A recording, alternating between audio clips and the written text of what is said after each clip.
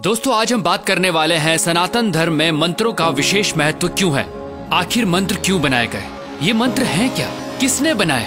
एक मंत्र को उसके सही उच्चारण के साथ ही क्यों बोलना चाहिए? नमस्ते दोस्तों। सनातन सोच के इस वीडियो में आज हम बात करने वाले हैं मंत्रों की। देखिए, सबसे पहले तो मंत्र का शाब्दिक अर्थ जानने की ज़रूरत है। ऐसी ध्वनि जो आपको मेंटल पीस दे, आपके मन को शांत करे, वो ही मंत्र है। हमारे शास्त्रों में कहा गया है, मना तार्यति इति मंत्र। यानी मन को तारने वाली ध्वनि ही मंत्र है। दोस्तों, सनातन धर्म में मंत्र जपना हज़ारों सालों से चला आ रहा है। वो ऋग्वेद के तीसरे मंडला के 60 सेकेंड सूक्त का गायत्री मंत्र हो, जो ऐसी वाइब्रेशंस पैदा करता है कि इंसान के साथ साथ सभी पेड़ पौधों और जानवरों के लिए भी लाभदायक है। या ऋग्वेद के ही सातवें मंडला के फिफ्टी नाइन्थ सूक्त का महामृत्युंजय मंत्र, जिसे मृत्यु को जीतने वाला मंत्र भी कहा जाता है। और भी ऐसे कई वैदिक मंत्र हैं जिन्हें चैंट करने से हमारे फिजियोलॉजिकल और साइकोलॉजिकल फ़ंक्शंस यानी शरीर और दिमाग पर पॉजिटिव इम्पैक्ट पड़ता है। पर कैसे? आखिर ऐसा क्यों होता है? दोस्तों, वजह है इन मंत्रों की ध्वनि। वो साउंड जो इन मंत्रों के उच्चारण से पैदा होती है। मंत्रों के अर्थ को अलग रख दें तो विशेषज्ञों का मानना है, मंत्रों की सिर्फ़ ध्वनि, यानी साउंड में ही अपार शक्ति होती है।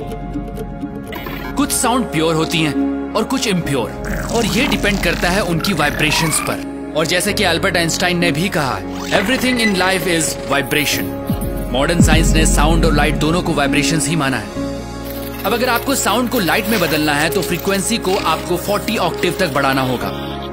और तब जो आपको वाइब्रेशन मिलेगी, वो trillions of cycles per second होगी। और वो एक लाइट के रूप में आपके सामने होगी। महान योगियों ने साउंड को लाइट में बदलने का काम अपने शरीर के भीतर हमेशा से किया है दोस्तों, और वो मंत्रों के माध्यम से ही हुआ। दोस्तों, इस वीडियो के माध्यम से हम आपको ये नहीं बताना चाह रहे कि कौन सा मंत्र आप पर क्या प्रभाव डालता है, बल्कि हम मंत्रों की अद्भुत शक्ति के बारे में आपको बताना चाहते हैं। और इसे सिर्फ़ रिलीजियस चश्मों से नहीं साइंटिफिक अप्रोच से देखना पड़ेगा।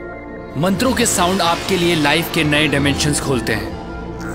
ये ऐसी साइंस है जिसमें आप साउंड की मदद से अपने आसपास और अपने अंदर एक खास एटमोसफियर बनाते हैं, जिससे आपका माइंड एक्टिवेट होता है। लगातार मंत्रों की चैंटिंग से न सिर्फ़ फोकस बेटर होता है, बल्कि मेमोरी और अटेंशन भी बढ़ता है, क्योंकि मंत्र आपके ब्रेन सेल्स एक्टिवेट करने में हेल्पफुल साबित होते हैं। अगर मंत्रों को सही उच्चारण, सही फ्रीक्वेंसी के साथ बोला जाता है तो न सिर्फ़ ब्रेन को प्रॉपर ऑक्सीजन पहुँचती है, बल्कि ब्लड प्रेशर भी कंट्रोल में आ सकता है।